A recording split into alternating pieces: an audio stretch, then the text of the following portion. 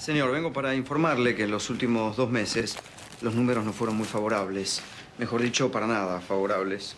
Hemos tomado algunas decisiones poco acertadas, como trabajar hasta el miércoles o duplicar las vacaciones. Incluso tenemos algunos inconvenientes con el paintball que mandó a construir en el estacionamiento de la empresa.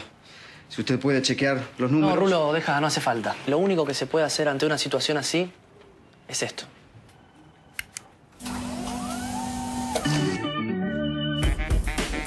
Dale, ponete. No estás listo para el puesto de tu jefe, pero sí para su cobertura médica. Medicus 1825, el plan joven pensado para vos.